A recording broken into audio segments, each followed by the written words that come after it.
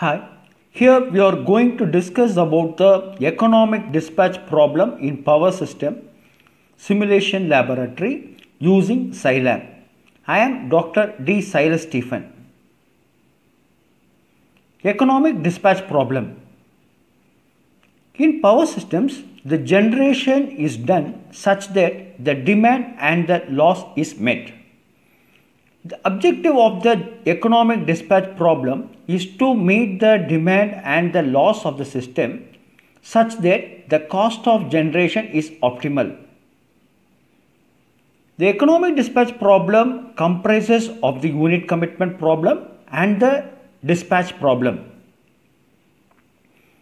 Mathematically, the economic dispatch problem can be stated as a minimization problem, minimization cost function C is equal to summation of CI PGI, where C is the total fuel cost, N is the number of generating units.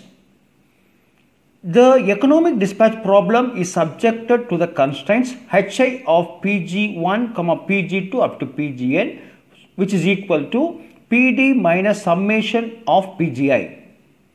Here the PD is the total demand, PG is the power generated by the ith generating unit.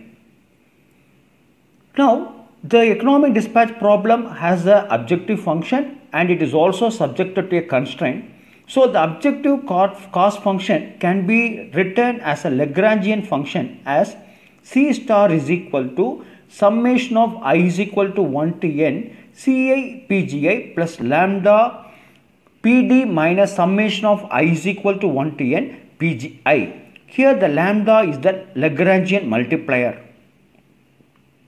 Now for solving the economic dispatch problem, we have to consider some unit, some equations. Now let us see the equations which we need. The coordination equation which is the incremental cost equation dci divided by dpgi is equal to lambda.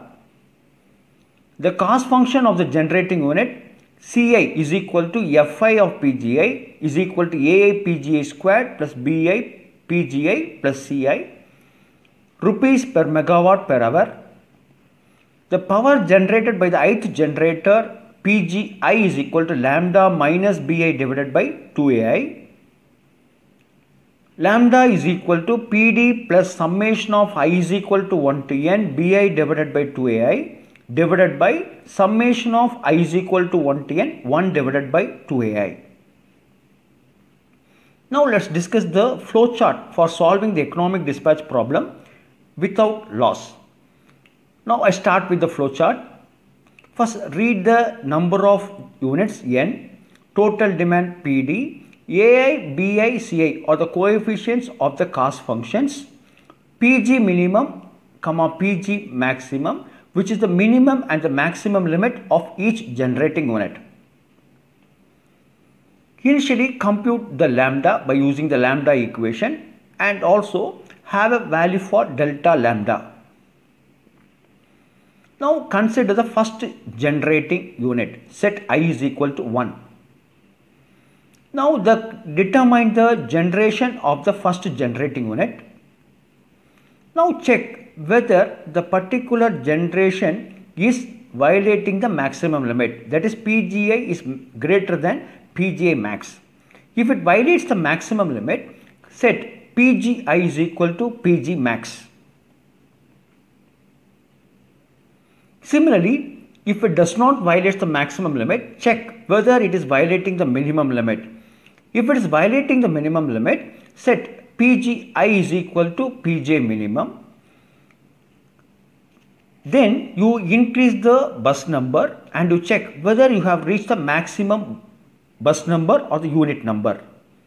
If you have not reached the maximum unit number, you again go for the determination of the generation of the next generating unit. Again you check for the limits Similarly, until you have determined the generation for all the units, you go on with this particular loop.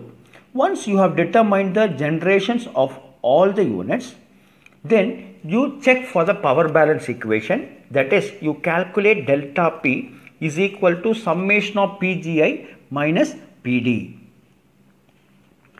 Now, if P delta P is less than epsilon, which is a constant, it may be 0.0001 or 0.001. So, if it satisfies the condition, you can stop with the process and you can print the generation value and also the cost.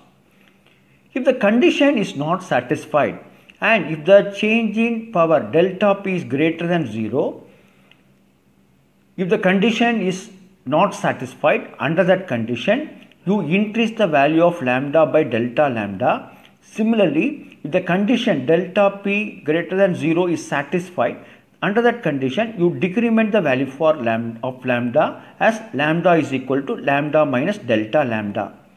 Now, after incrementing or decrementing the lambda, you go uh, determine the generation of the first unit for the by considering the incremental or decremental lambda and you go on with the process until the condition delta p less than epsilon is being satisfied.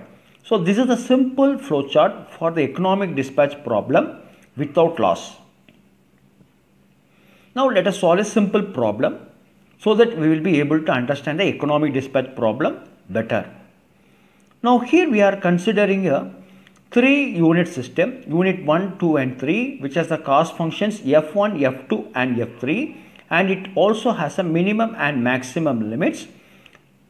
Here we have to determine the economic generation schedule of the three units in the power system to meet a load of 925 megawatt. Step 1 First, you determine the value for lambda by using the lambda equation PD plus summation of BI divided by 2AI divided by summation of 1 divided by 2AI. We know PD is equal to 925 plus B1 divided by 2A1 plus B2 divided by 2A2 plus B3 divided by 2A3 divided by 1 divided by 2A1 plus 1 divided by 2A2 plus 1 divided by 2A3. Now A1 is the coefficient of the Pg1, B1 is the coefficient of the uh, uh, first equation. Similarly, B2, A2, B3, A3 all you can get from the cost functions.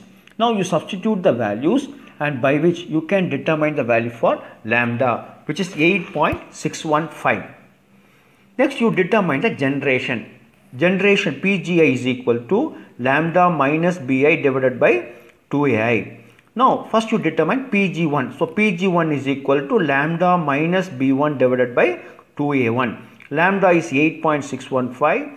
B1 is the coefficient of PG1 that is 5.2 divided by 2 into a1. a1 is the coefficient of pg1 squared. By substituting it, you get the value for pg1. Similarly, you get the value for pg2 as lambda minus b2 divided by 2a2. pg3 is equal to lambda minus b3 divided by 2a3. Now, after finding the generation, you check for the power balance equation. Now, the power balance equation is demand is equal to sum of the generations sum of the generation is equal to Pg1 plus Pg2 plus Pg3. Now you substitute the value of Pg1, Pg2 and Pg3 which you have determined in the previous step. By that you get the value for 925 megawatt.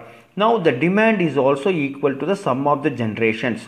So the power balance equation is satisfied. Next you check for the generating limit. Now we have to check whether all the generations Pg1, Pg2 and Pg3 are within the limit or not. When you check, we can find that for unit 2, the generation limit is 200 megawatt to 350 megawatt. But when you find Pg2 value, it is 367.401. It is violating the maximum limit. So, as it is violating the maximum limit, we said Pg2 is equal to 350 megawatt. Now you determine the new demand by neglecting the generated 2 or the unit 2. So PD new is equal to PD minus PG2. So which is 925 minus 350 575 megawatt. Now you determine the lambda new and you determine the lambda new by considering the PD new and also the units 1 as well as 3. So which is equal to PD new plus B1 divided by 2A1 plus B3 divided by 2A3 divided by 1 divided by 2A1 plus 1 divided by 2A3. Here the second unit data is not being considered because we have set the value of the second unit to be as the maximum limit of the particular unit. Now by substituting the values you can find the value for lambda new 8.5333. Now by using lambda new you can determine the value for Pg1 and Pg2. Pg1 is equal to lambda new minus B1 divided by 2A1 so lambda new is 8.5333 minus 5.2 divided by 2 into 0.0045 which obtain it as 370.37 megawatt. Similarly you find the value for Pg3 lambda nu minus B3 divided by 2A3. So by substituting it you can get the value for Pg3. Now we have obtained the value for Pg1. Pg2 is the maximum limit of the particular unit and Pg3 is the value which we have obtained here 204.639. Now we have to check whether the optimal solution is being obtained for which we are checking for the optimality condition. Here the Pg1 and Pg3 are not violating the limit. So the condition is lambda 1 is equal to lambda 3 is equal to lambda new. Now but when you consider the second unit it is violating the maximum limit.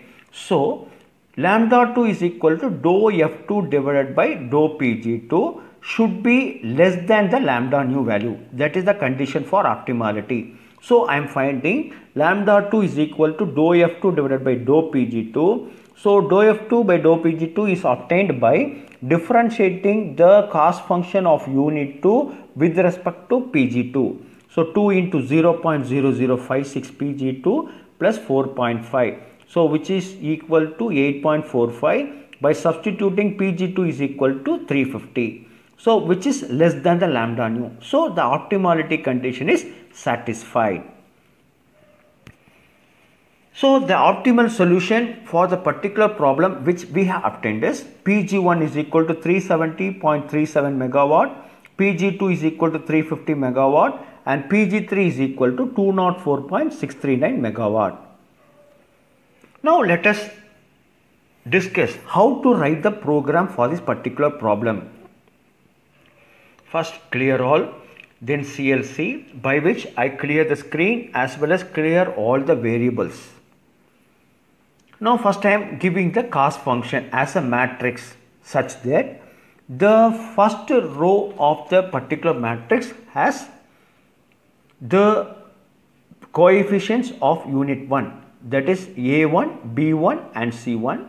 Second row of the matrix has the A2, B2, C2 and the third row of the matrix has the A3, B3 and the C3 value which are all the coefficients of the cost functions of the unit 1, 2 and 3. Next I am forming a matrix for the limits which is such that the first column of the particular matrix has the minimal limits of the units 1, 2 and 3 and the second column of the matrix has the maximum limits of unit 1, 2 and 3. Now the demand PD is equal to 925 megawatt, N is equal to 3 number of units. Now for determining the value of lambda, I am writing all these codes. Now here let me explain you how we are determining the value for lambda. Okay.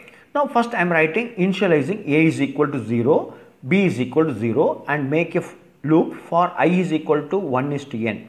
Now why I am forming this particular loop is here we have to determine summation of bi divided by 2ai and summation of 1 divided by 2ai for the 3 considering the 3 units for which here I have written the loop like this a is equal to 0 b is equal to 0 for i is equal to 1 to n a refers to the summation of bi divided by 2ai B refers to the summation of 1 divided by 2a of the lambda function. Okay. So, by which I am determining the value for lambda is equal to PD plus A divided by B. So, by the course I will be able to determine the value for lambda. Once I have determined the lambda, we have to determine the generation for all the 3 units. So, I am determining the generation for all the 3 units as Pg of i is equal to lambda minus Bi divided by 2 into Ai. So the uh, uh, coding how it comes as Pg of i is equal to lambda minus Ba is C of i comma 2 divided by 2 into A. So 2 into C of i comma 1. Now we have determined the Pg of i. Now parallelly I am checking whether the limit violation is there or not. Okay. So I am checking for the minimal limit. Now if it is violating, it will display limit violated in unit. On which unit? K is equal to I. I am displaying K, disp K. So it displays the K value which is the unit which is, has violated the minimal limit. Now if it has violated, what we have to do? We have to set the generation value to be as the minimum value. So Pg of i is equal to limit of i comma 1 after which we determine PD new by neglecting the particular generation PD minus PGI. So I end the loop. Next one is I am checking for the maximum limit if PG of i is greater than limit of i comma 2. So the same procedure I am displaying whether displaying whether the violation is there or not, which unit is violating then you are uh, setting such that your generation is equal to maximum limit of the particular unit. Then you determine the new demand value and end with the process. Now here by these steps uh, uh, what you determine is you determine the generation of all the units and thereby you check for the limit violations and also you set if there is any violation you set whether the minimum value or the maximum value based on the violation and also you determine the new demand. Now after determine the new demand you have to determine the lambda new. So as we did the same thing for determine the lambda here I am using the same function but only one unit uh, line is being added that is if i is not equal to k. For example, if a particular unit has violated that should not be considered while determining the lambda new. So, that particular if is equal if i not equal to k is being added. Now, I determine the lambda new. Now, by using the lambda new I determine the generation Pg of i now by which we display the value of PG. So this is the simple program for the particular problem. Hope you have understood. Thank you.